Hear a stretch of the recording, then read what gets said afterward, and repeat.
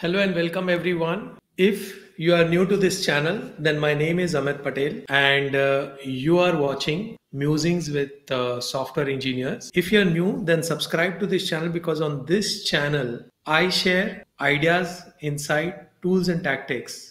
So if you want to grow fast in your career within the software industry, then uh, subscribe now and press the bell icon so that you don't miss any updates. Okay, Jatin, is BSc after MCA better than BTech? Is BSc after MCA? Are you, Jatin, are you asking, is MCA after BSc better than BTech? There is nothing like better or not better. See, all degrees have their. Why, why do you go for a degree? You go for a degree to learn something to acquire the knowledge of the industry. See, all these schools, universities, and all these colleges and different different professions and different different degrees are only there because there are industries who require people who understand, who have some knowledge before they can hire. Otherwise, what industry will have to do? Industry will have to give their own training.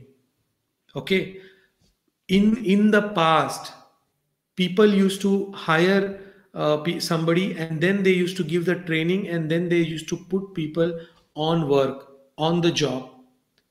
But after this education system has started now we are paying for our education so that we are free to choose whatever industry we want to go to to choose the kind of profession we want to get into.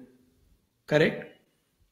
So it is it is a good thing but in all uh, all the degrees there is a syllabus and that syllabus decides what kind of companies what kind of industries you can join what kind of jobs you can do okay? For example a btech will be able to do a different kind of a job than a bsc or a mca okay? It all depends on the syllabus okay? You will see that a lot of business application will hire mca graduates instead of btech but if there is a software which requires a lot of technical expertise which is uh, which is something to do with the science and technology then they will look for be and btech people.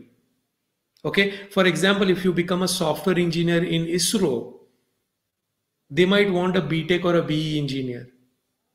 Correct? So it all depends on what kind of work you are going to apply for. Okay? Otherwise it's not like this is better than that. In every situation some degrees uh, better than any other degree. Okay? There will be some places where only mca and msc is mentioned where they are not even hiring be and btech people which happens very rarely but that's what it is. If I don't have good BTech college, I think I already answered this. Um, colleges don't matter. Your skills matter. Uh, your technical expertise matter. Okay. Uh, if you go to college and you waste the three four years that you get for studying something, then that college will not have given you anything. But if you go to college and really sincerely start studying the subjects and irrespective of how good, bad, ugly your college is, you yourself develop all these skills, then you will have got the best benefit out of the college. Okay. If you really want to grow in your career, you can look at my program, How to Become A Players. This is very important for those people who are experienced but not getting salary hikes to understand why you are not getting salary hikes. Thank you very much and see you on the next live.